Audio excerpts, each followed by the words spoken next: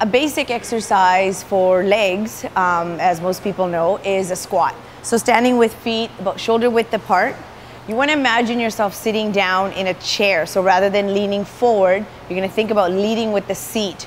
So you want to try to come to 90, but if your body allows it, only if it allows it, you can go deeper as long as it doesn't change the positioning of your body so your chest is still upright and your knees are still lined up with the toes.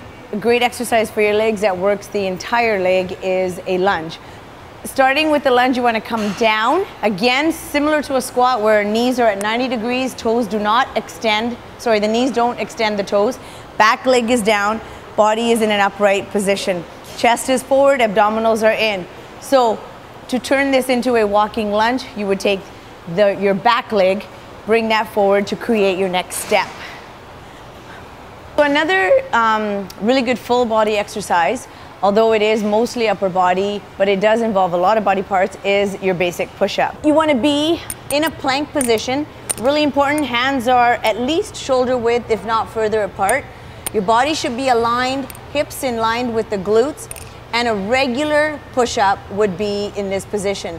We can modify it for those of you who are beginners or you know have lower back issues to by placing your knees on the floor. So now some of this, um, some of the weight is lifted and you're and it's not as difficult. Anytime you do an abdominal exercise, you are working the entire abdominals, but certain exercises will target the upper, the lower, and the obliques, which is the three different parts of our abdominals.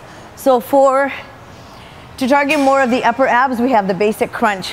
Hands are just by the ears and keep the elbows as far out as you can it does make the crunch more difficult, but it's also much more effective. To target the lower abs, um, a great exercise for that is just simple leg lifts, keeping your legs straight, but of course not locked. With hands on the floor, you wanna be mindful not to use the hands to push you up. You want the work to come from the core.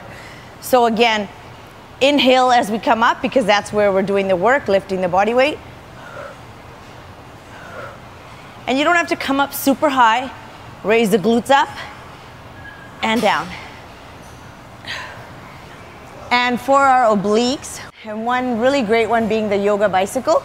So legs are at 90 degrees, hands are by the ears, and we're gonna alternate legs as we twist at the core. You really wanna create an exaggerated twist to get the most effectiveness.